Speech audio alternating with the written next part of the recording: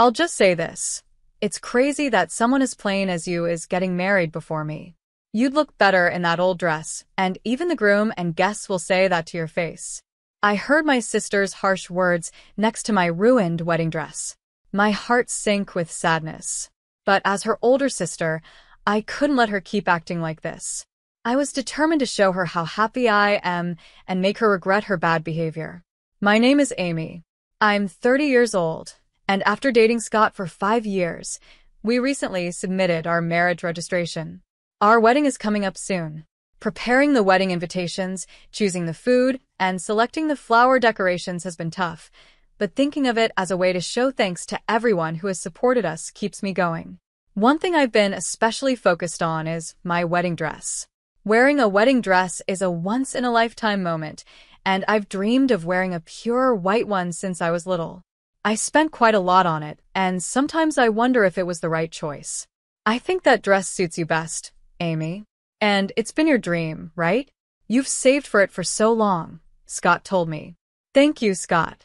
Yes, it's a special day, so I'll wear the dress I chose with confidence, I replied. The dress I picked is beautiful, made with lots of lace and tulle, created by a famous designer. Just imagining myself in it, standing next to Scott at the perfect venue, makes me excited for our wedding day. It feels like a dream come true. But not everything in my life has been going smoothly. Amy, did you really manage to marry Scott? Don't you think he'll regret it? My sister Lauren said, smirking. Lauren, that's not something you should say, even as a joke. I snapped back. When I visited home, Lauren, who is three years younger than me, was lounging on the couch. She always knew how to say things that hurt. Even though she pretends she's joking, I know Lauren is being serious. Scott is so handsome. He's way too good-looking for someone like you, she continued. You can't judge people by how they look, Lauren. Marriage is about much more than appearances. I replied, well, coming from you, that might actually sound believable. I never thought you'd get married before me, Lauren said. Stop it. I yelled. Lauren is always so confident, constantly working on her makeup and hairstyles to impress men. She's the type of person who checks herself in the mirror all the time. Ever since we were kids, she would often make fun of me in front of others, saying things like, Unlike me, my big sister isn't pretty. It's like she always needed to be the one on top. But even though she focused so much on looks, I never felt like I was less than her in other ways. Our relationship as sisters has never been great, and lately, her behavior has been even weirder. Hey, Amy, remember when Scott came over to meet our family recently? I was there too, right? Did Scott say anything about me? She asked. What do you mean? I replied. Like, wow, you have such a cute sister, or maybe something like your sister is more refined and beautiful than you she said. I was frustrated. I'm leaving, I said, trying to get out of our parents' house. As I was about to go, Lauren muttered to herself, acting all high and mighty just because you managed to get married, even though you're still so plain. Just wait and see. Excuse me, did you say something? I asked. Just go home already, she snapped back. This attitude wasn't new, so I left without thinking much of it. But things got even stranger later. On the day Scott and I were having our pre-wedding photo shoot, Lauren came to the location with our parents to watch. Oh, so this is the dress you're going to wear on the big day, she commented. Lauren, the shoot is about to start. Could you please move aside? I asked. I was scheduled for a solo photo session first, and as the preparations were being made in the cathedral where the ceremony would take place, Lauren kept walking around, not caring about anyone else. All right, all right, I'll move. What's the big deal? Just because you're in a wedding dress, you're acting like you're the star, she said. Well, I kind of am the star today, since it's my pre-wedding shoot. We need to move quickly, or it'll be a problem for everyone, I replied. She scoffed. Typical. You try to be liked by being so considerate, but really, you're just plain. And just so you know, that dress doesn't suit you at all, Lauren whispered to me, making sure our parents, Scott, and his mother couldn't hear her. Just as I was about to respond, she walked away. I was about to respond, but Lauren just walked away with a smile. The photo session began, but her cruel words lingered in my mind, making it hard for me to smile naturally. As the pre-wedding shoot went on, my smile felt more and more forced. Are you nervous, Amy? asked Scott's mother, my future mother-in-law. We had met many times, but she was always gentle and kind. I'm just having a little trouble smiling, I said. Sorry to keep you waiting. It's okay. You look beautiful in that dress. Take your time with the photos. You deserve to be admired for as long as possible, she reassured me. Her kind words helped for a moment, but Lauren soon ruined the mood again. Are you going to make trouble for your in-laws? I feel sorry for them, having such an incompetent daughter-in-law. Who would want someone like you? Lauren said with a smirk. Lauren, please stop. I responded, trying to stay calm. At that moment, my future mother-in-law stepped in. She smiled warmly and said, It's so nice of you to come and support your sister, but this is Amy and my son's special day. Please give them some space. She gently took Lauren by the hand and led her to the corner of the venue. As the shoot continued, Lauren stood there with a sour look on her face, clicking her tongue in frustration, making the atmosphere tense. Maybe your sister feels like I've stolen you from her, Scott joked, trying to lighten the mood. I'm so sorry, I apologized, feeling the weight of Lauren's presence even more. It made the day feel exhausting, but eventually, the shoot was done, and I started feeling more prepared for the big day.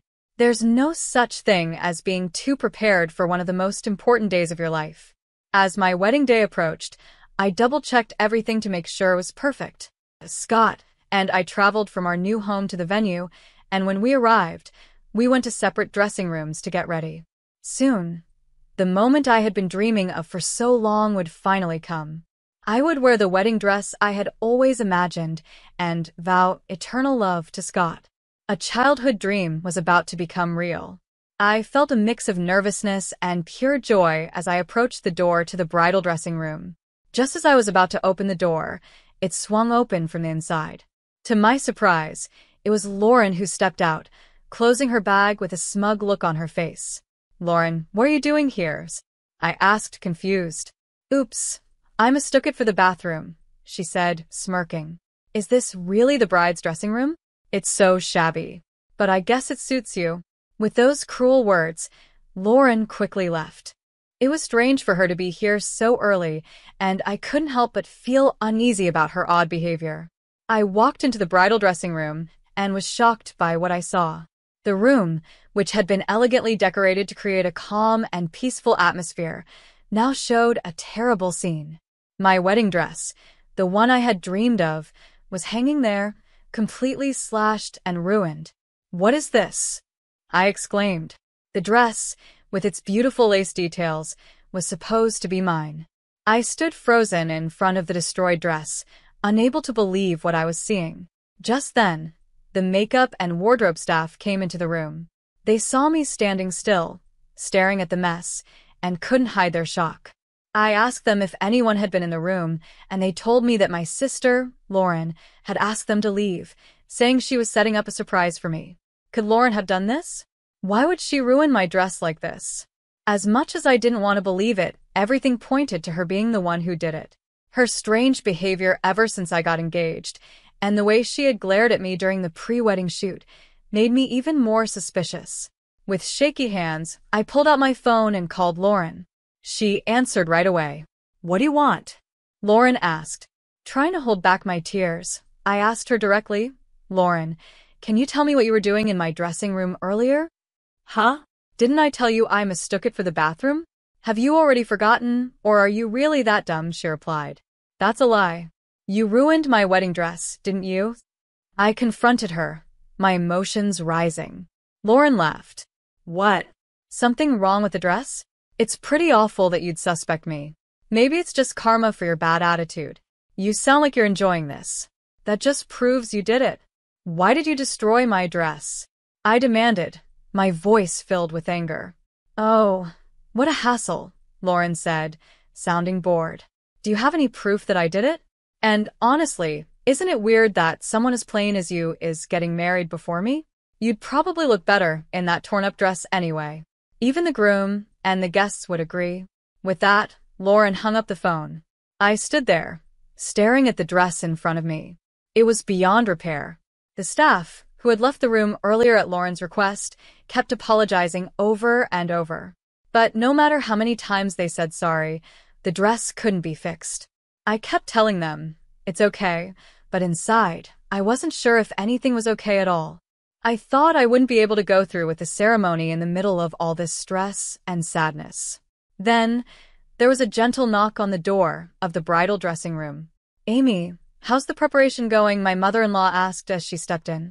She was bringing some refreshments for the staff, but the moment she saw the ruined dress, her face turned serious.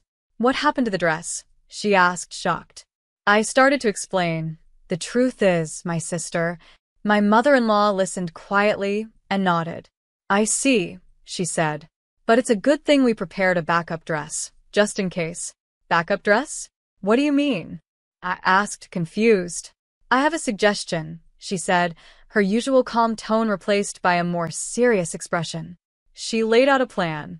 If I supported her idea, she promised to help make everything perfect. Thanks to her strategy, I found the strength to move forward with the wedding I had almost considered canceling. Just watch, Lauren, I thought to myself. I'll show you how happy and radiant I can be. Seeing my renewed energy, the staff got even more excited and worked hard to make everything perfect. My emotions were different from how I had felt that morning, I was now ready to face the wedding head-on. The magnificent chapel was set outside, and as the solemn music began to play, the large doors in front of me opened. My father was waiting there, and the aisles stretched out before us, leading to the altar where Scott stood, waiting for me. As I walked down the aisle with my father, I heard guests gasp in surprise. My father had tears in his eyes, and Scott, who didn't know what had happened with the dress, looked surprised as well. With my veil still on, I stole a glance at Scott's face, then quickly looked at the family seats. There was Lauren, expecting me to show up in a torn or badly prepared dress. Her expression was priceless. Her mouth was wide open in shock, and she couldn't move. I walked past her, straight to Scott. After my father gave me away, I took Scott's hand. I noticed Lauren fidgeting with a handkerchief she was holding. We exchanged rings, shared our vows, kissed, and walked out to a shower of flower petals. As we passed Lauren during our exit, I saw her pulling on the handkerchief, which finally tore at her hands. This ceremony wasn't about troubling my sister. It was about sharing our joy. At that moment, I forgot all about Lauren and focused on the happiness of the day. After we finished taking group photos outside the chapel, we were directed to the reception venue. It was good that everything had gone smoothly in the end. I was really surprised you chose such a beautiful dress, my husband said as we shared a few words before heading back to our dressing rooms. The atmosphere was light and happy as guests started making their way to the reception. Suddenly, I heard Lauren shout loudly, Wait! Why are you wearing such a nice dress? Lauren pointed at me. What's with that long veil, the tiara, and even your shiny chest? Why are you standing out so much? You're supposed to be less noticeable than me.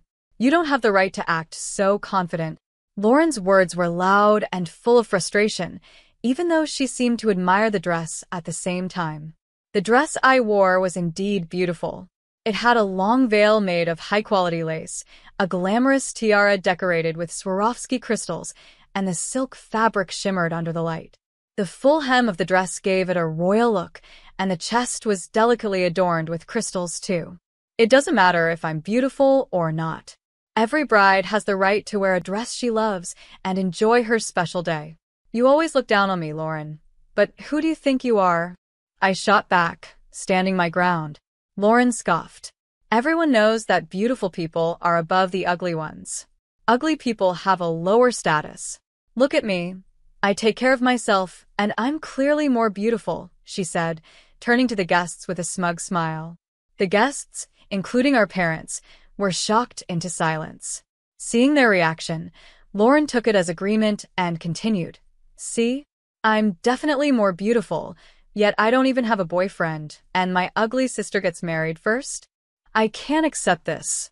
Her anger flared, and she glared at me before suddenly lunging at me. It's pitiful that someone as ugly as you would wear this. Take it off right now and apologize to the dress, she shouted. Lauren, stop. This is an important wedding dress. It's borrowed from Scott's mom. It's the dress she wore at her own wedding, so don't touch it. I cried out, trying to stop her. Before Lauren could cause any more trouble, the venue staff and Scott quickly stepped in to hold her back. She struggled at first, but froze when she heard what I said. Wait, so it's a second-hand dress? She sneered. So you were wearing rags after all? Treating something second-hand like it's special, you really are poor. Plus, getting rags from your mother-in-law? You're already being bullied, aren't you? No dreams, no hopes. Serves you right, she said with a cruel smirk. Her words stung, but I stayed calm, knowing that nothing she said could ruin my day. I will not allow you to call this dress a rag, Scott's mother quietly intervened, stepping forward with a calm smile. This dress is a haute couture piece, custom-made. It originally cost $500,000. $500,000? Lauren exclaimed, shocked. The price of silk and Swarovski crystals has gone up since then, so it's likely worth even more now, Scott's mother continued. We've had experts take care of it, so it's in perfect condition. Hearing this, Lauren's face turned pale. The mention of the actual price seemed to shake her deeply. Why would you give such an expensive dress to my sister? Lauren stammered. Because Amy is kind and will make a wonderful bride, Scott's mother said gently. It brings me great joy to know that my treasured wedding dress is being worn by my dear daughter-in-law. That's not the point. Why was such an amazing dress prepared in the first place? Lauren pressed, clearly upset. She had probably assumed there was no backup dress when she ruined the original one. Scott's mother smiled slightly at Lauren and said, Lauren, I noticed how you glared at Amy during the pre-wedding shoot, even after I asked you to give her space. I saw you looking at that dress on your phone, and had a feeling you might try something. I thought you were just an old lady, Lauren muttered under her breath.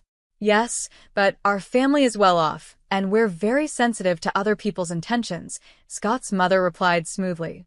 That comment seemed to hit Lauren hard. Wait, you're wealthy? So Scott is rich, too? He's rich and handsome. Then why did he choose my sisters? Lauren shouted, growing more confused and frustrated. Why did I marry Amy's? Scott said, joining the conversation with a shy smile. I was planning to talk about it in my speech at the reception. He turned to Lauren, who was now red with frustration. When I first went out with Amy, she suggested we split the bill. I was surprised. It was the first time anyone had ever suggested that. She even wanted to split the cost of our apartment rent and the wedding expenses. What? Going Dutch? I don't get it. If Scott is rich, he should pay for everything. Amy, you should let a man take care of you. That's why you're a flawed woman, Lauren criticized. Scott shook his head. That's exactly it. Every woman I've dated saw me as just a wallet, but Amy didn't. She's truly independent, and I realized I didn't want to be with anyone else but her. He then continued, speaking about other reasons why he loved me, standing firm in his words. Lauren clicked her tongue in frustration, clearly unhappy with the answers she had received. I can't listen to this. It's boring, and I'm not interested in a reception where my plain sister is the star. Maybe I should just go home, Lauren said, venting her frustration. Then, as usual, she lost her motivation and relaxed her shoulders. This was typical of her. Either she'd cause a scene until she got what she wanted, or until she got bored. As her sister, I had always tolerated her behavior, but it was clear her personality hadn't improved as she grew older. I realized it was time to teach her a final lesson. Grabbing her arm to stop her as she yawned, I said, This is a good time to tell you. You'll have to pay for the dress you ruined. Lauren grimaced, then laughed smugly. Me? Ruin the dress? There's no proof. Why don't you save your bedtime stories for when you're asleep? She shrugged off my hand and chuckled, clearly pleased with herself for ruining my chosen dress. But I stayed calm. It was time to show her what happens when someone tries to destroy another's happiness. Seeing how satisfied she looked, I smiled and said, Unfortunately for you, everything was recorded on the surveillance cameras. I had them installed in the bridal dressing room. I'm even thinking about filing a criminal complaint for property damage. I hate the idea of having a criminal in the family on my wedding day. Lauren's smile disappeared instantly, replaced by shock and panic. What? You have cameras?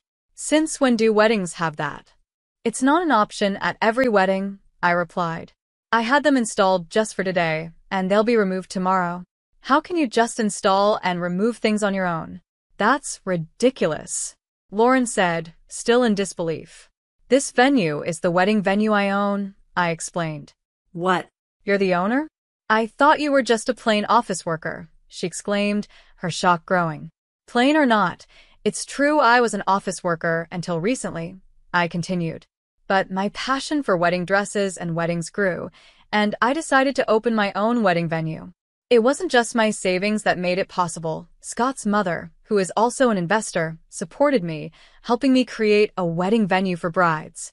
And this place? It's the one I manage. Lauren's face twisted with disbelief. No way. I've never heard anything like this from mom or dad. Ask them to keep it a secret from you. I figured you'd think it was ridiculous for someone with my ugly appearance to run a company, I said. As Lauren listened, her expression softened. I could see the struggle in her mind as she tried to process everything I had just revealed. I have a lot of wealthy relatives, I mentioned. Lauren's eyes lit up. Oh. Then you can introduce me to a rich man, right? Yay, she exclaimed, clearly missing the point. Lauren, do you really think we can continue as sisters after this? You tore up a dress that was special to me. I never want to see your face again, I said, my anger simmering. What? Why are you saying that? It was just a little prank. I already said I'm sorry, didn't I? Lauren's apology felt empty, and she acted like it didn't matter. Her careless attitude pushed me over the edge.